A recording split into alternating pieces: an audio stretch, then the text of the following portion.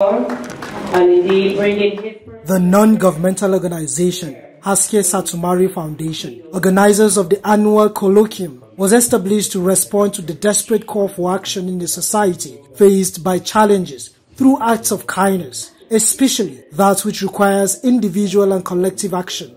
Serving as this year's keynote speaker at the event, Governor Caleb Mutfwang maintains that good leadership is a critical factor to development of every nation.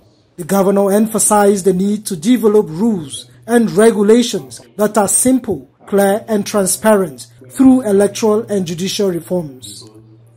The Supreme Court must summon the courage to exploit its inherent jurisdiction to do justice where there is a lacuna in our body of laws that the Supreme Court as a court of policy must rise to the occasion and do justice that is apparent in every case.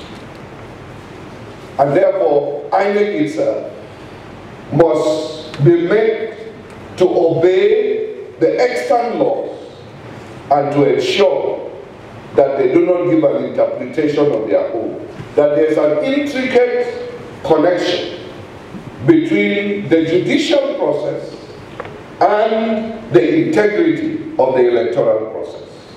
Therefore, apart from the politicians, apart from INEC, two critical persons that are important to electoral success in Nigeria are the judiciary and the legal profession.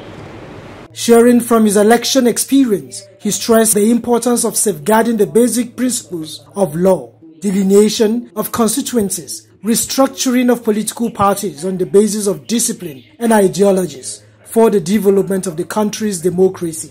Human rights activist and lead counsel Falana and Falana Chambers, Femi Falana, noted that it is not the business of the court to determine election winners.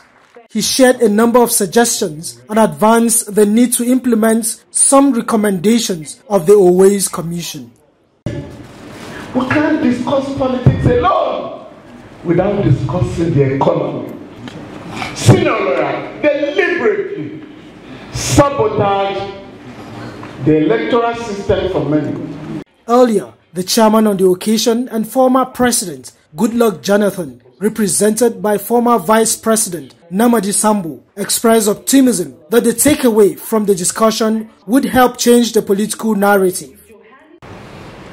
He is hoping that the outcome of this colloquium today will contribute positively toward the development of our dear country.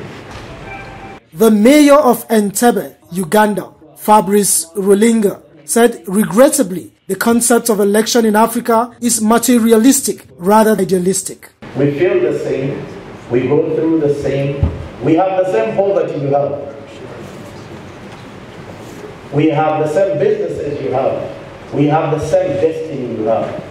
There is no day a white man will come and fix African problems. Only an African will fix African problems.